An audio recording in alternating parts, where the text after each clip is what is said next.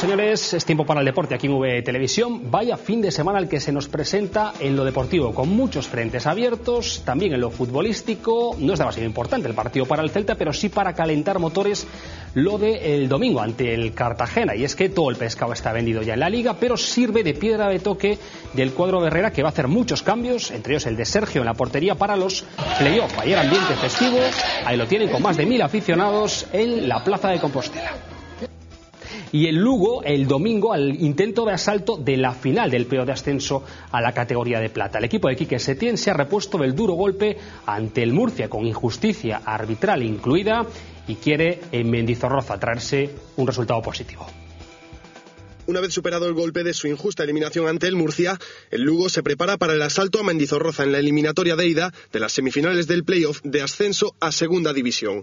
Enfrente estará un histórico como el Alavés. Es un equipo fuerte físicamente, con jugadores muy agresivos, disciplinados y muy constantes ¿no? en el esfuerzo, en, eh, en ese sentido, yo creo que es un equipo tan rocoso y tan duro como el Murcia. Eh, luego, yo creo que tienen un poco menos de calidad. Los de Quique Setién han recuperado el buen humor.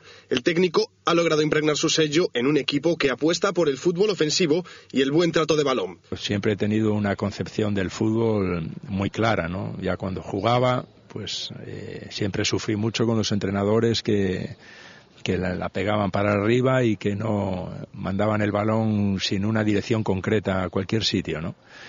Y yo sé que los sentimientos de un futbolista cuando está en el campo, ¿no? Él quiere jugar al fútbol, quiere divertirse, quiere tener el balón, quiere combinar.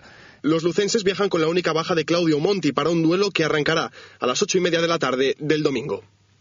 Y también el domingo el playoff de ascenso a la segunda división B, la que pretende dejar el Club Deportivo Lugo para dos equipos gallegos, los que han sobrevivido, el Cerceda y el Racing de Ferrol. El Cerceda juega a la una de la tarde ante el San Sebastián de los Reyes en tierras madrileñas.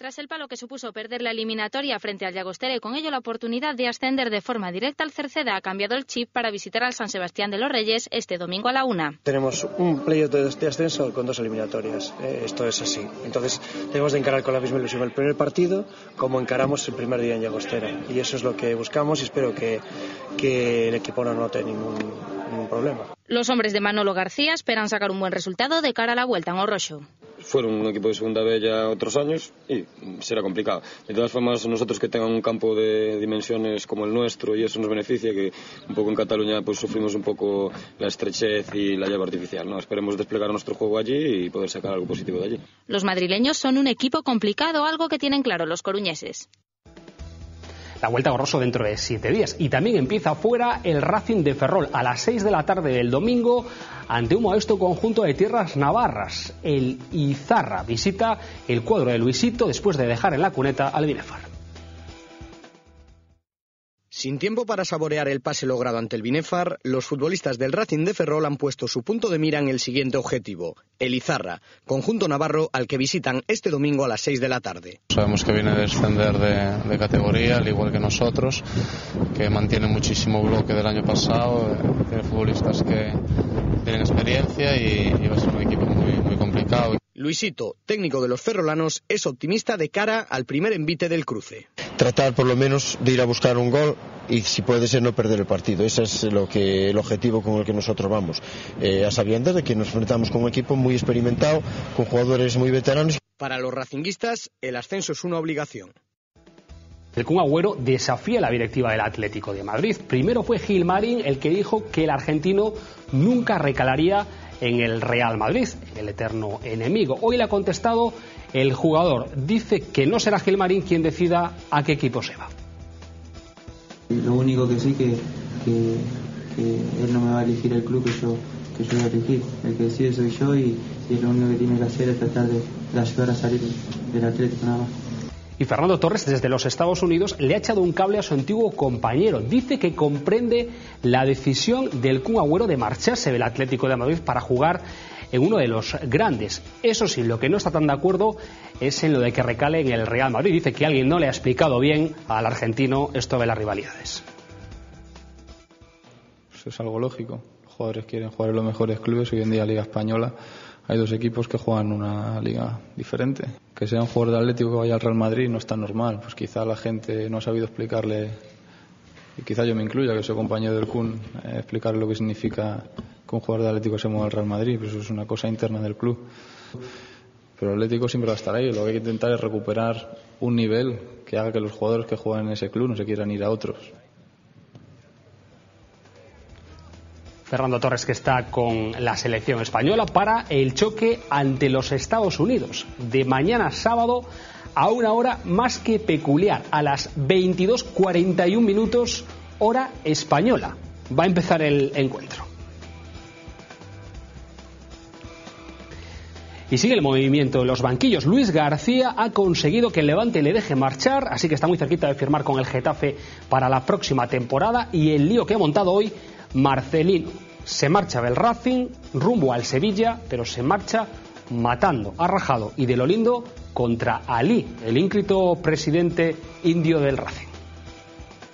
Sabíamos que había dos opciones. Quedar en el Racing o ir a casa. La, eso cara al exterior. La sensación nuestra dentro del club era que nosotros íbamos para casa. Y íbamos para casa porque no había proyecto. Porque el, el proyecto que se nos había ofrecido era una mentira. Una absoluta mentira. Y porque los futbolistas no cobraban. Y porque los empleados no cobraban. Y porque se nos prometió y se nos repitió sucesivos incumplimientos.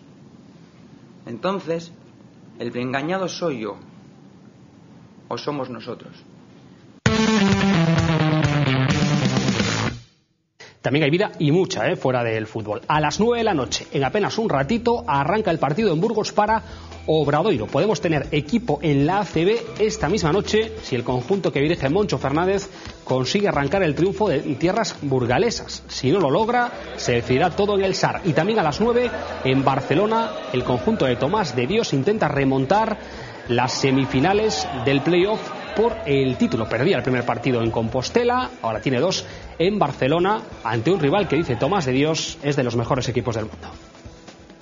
Es un equipo que está diseñado para, para marcar una época en, dentro del fútbol sala, ¿no? Eh, cinco veces más nuestro presupuesto, un estatus de equipo con jugadores campeones del mundo y campeones de Europa. Y precisamente un campeón de Europa ha sido recibido hoy por el presidente de la Junta de Galicia, el Liceo, también subcampeón de Liga, vaya temporada la que ha firmado el conjunto de Carlos Gil, que ha entrado en la historia ya como el equipo más laureado en cuanto a títulos continentales de toda Galicia. Cinco Copas de Europa, pois fala por sí solo. Estamos ante o equipo máis laureado da toda a historia do deporte galego en todas as disciplinas. Y vaya lío el que se ha montado en el mundo del alpinismo entre Juanito Yarzábal y Edurne Pasaban. Primero fue Oyarzábal el que acusaba a la vasca de querer convertirse en la princesa del pueblo y no ayudarle, no colaborar en el descenso del Otse cuando lo pasó mal, sobre todo en el último tramo. Bueno, cruce de acusaciones, pero hoy ha sido la alpinista la que ha querido defenderse de esta manera. Lo que ha ocurrido estos días, primero me da dolor, tengo muchísimo, mucho, mucho, mucho dolor, porque eh, el deporte no es así, ni la montaña es así. Estamos dando una imagen bastante mala. No sé si hemos hecho bien, si hemos hecho mal. Yo creo que hemos hecho lo que tendríamos que hacer. Y este fin de semana tenemos que estar muy pendientes también de dos gallegos que mañana saldrán a escena en Madrid. Ahí se disputa la Copa del Mundo, la prueba la Copa del Mundo de triatlón. Javi Gómez Noya e Iván Raña, que han sido dos de las estrellas de la presentación de este torneo. Mañana a las 10 de la mañana, la prueba masculina en la Casa del Campo, 1.500 metros a nado, 40 kilómetros en bici y 10 kilómetros más de carrera a pie. Será el recorrido que tenga que completar estos dos gallegos. Y Rafa Nadal espera ya en la final de Roland Garros. Se ha deshecho de Andy Murray, Djokovic o Federer, que están terminando su partido, serán sus rivales en la final de tierra batida. Lo vamos a dejar aquí por hoy. A las 9 de la noche regresa toda la información, como siempre, a esta casa, a V Televisión. Nosotros con la ventana dedicada al mundo del deporte el lunes a las 8. Feliz fin de semana.